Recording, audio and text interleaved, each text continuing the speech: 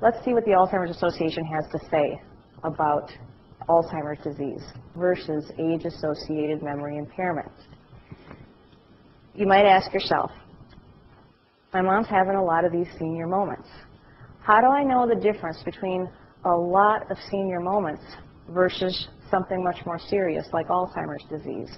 So the Alzheimer's Association gives us 10 warning signs to look for. The first is memory loss. And if you're taking notes either here in the classroom or you're taking notes at home, I want you to find a little pen, a little piece of paper, and I want you to write the word joggable. Joggable. The question is, is this memory joggable? So for instance, I've met Jack. I've met Jack a few days ago, correct? He walks into this room, and I look at him and go, oh, buggers.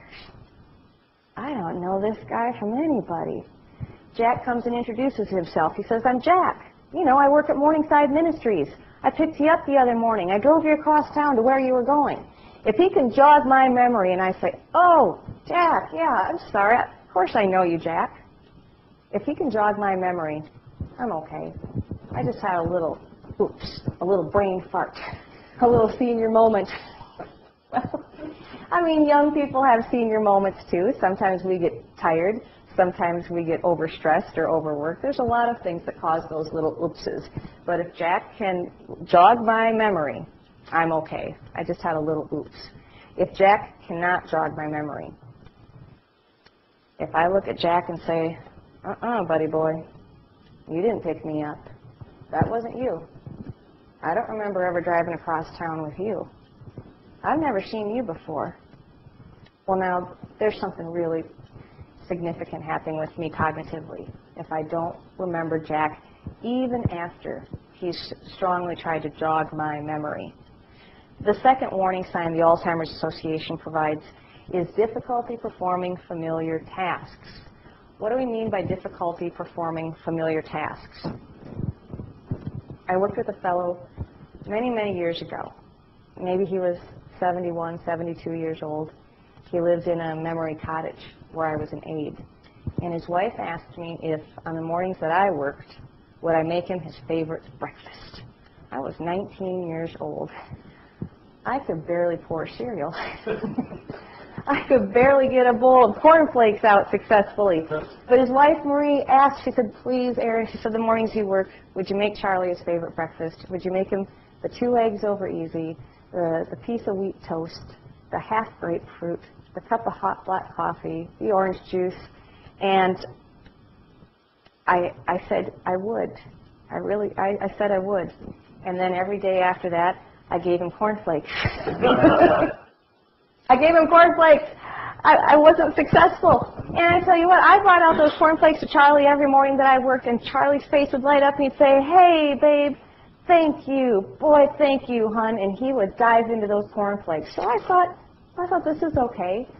Well, one morning I had a little extra time, and I had practiced flipping eggs back at my little apartment.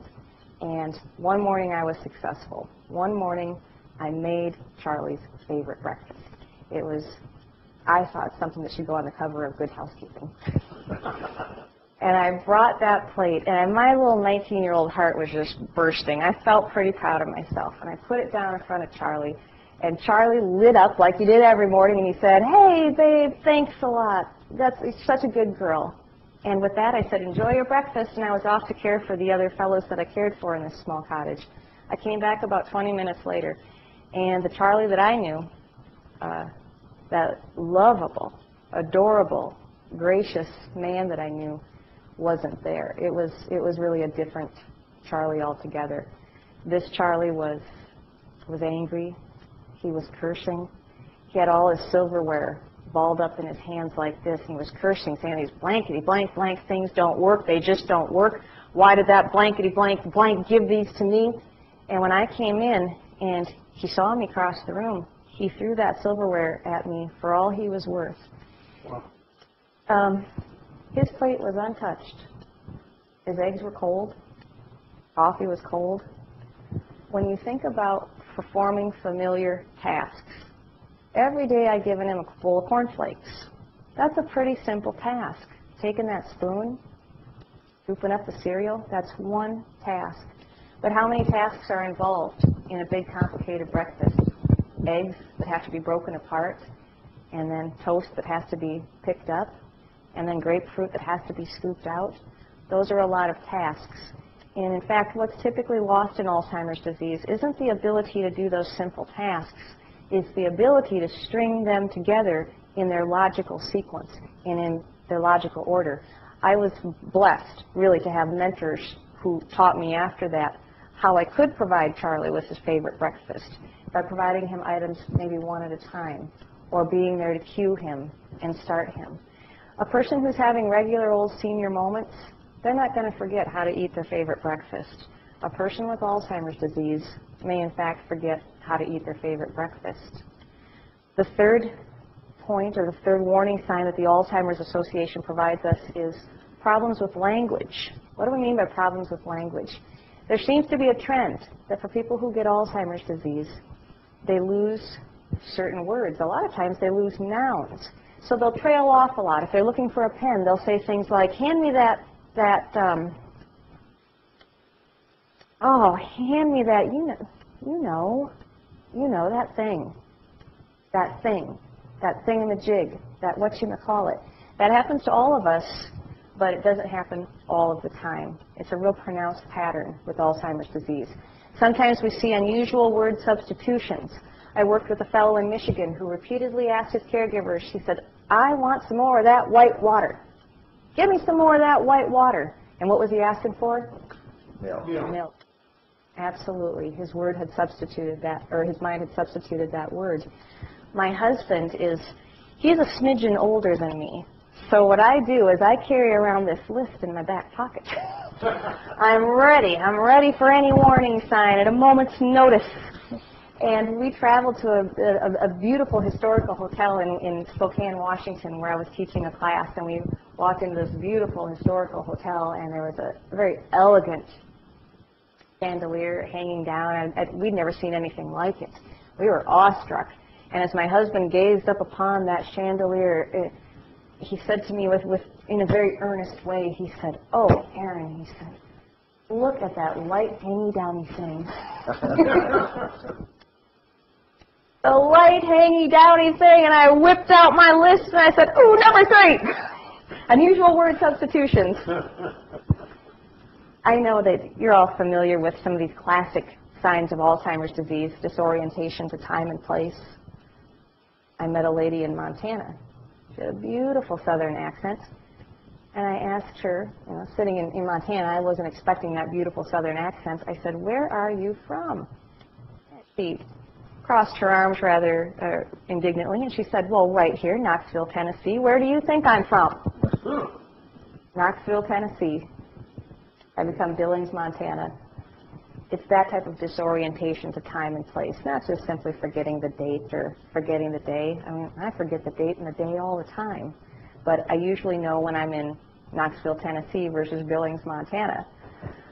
Or decreased judgment. I visited with an adult daughter. She said the first time she knew there was something really wrong with her mom is when she went to pick up her mom for Thanksgiving. She lived in a different city from her mom, and she'd been checking in with her mom uh, by the telephone. And she walked into her mom's house and was hit by a terrible odor. It was overwhelming the whole house.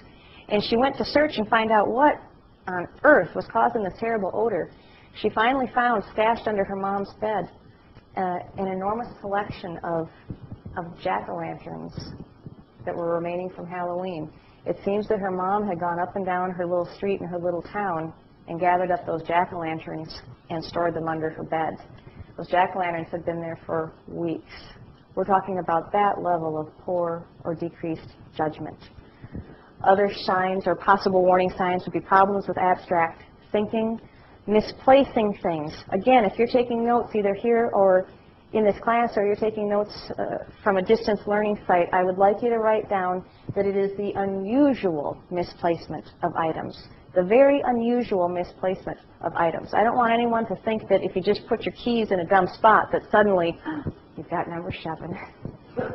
we all put our keys in dumb spots, but it's unlikely that we're going to take our car keys, wrap them up in saran wrap, put them in the sugar bowl, put the sugar bowl inside the oven, that's unusual. That's a sign that something, something's going wrong. Number eight, changes in mood or behavior are very, very common with Alzheimer's disease. Changes in personality, and finally, loss of initiative. I want to be real clear for anybody watching this telecast that these 10 warning signs are not a diagnostic tool. I do make some jokes about it. I usually make jokes at my husband's expense. And as much as I would like to watch him for these signs and symptoms, I won't ever be able to diagnose him or diagnose anyone. These 10 warning signs are just that, warning signs that mean we should get our loved one to a physician, a, a physician who's qualified to figure out exactly what is going on.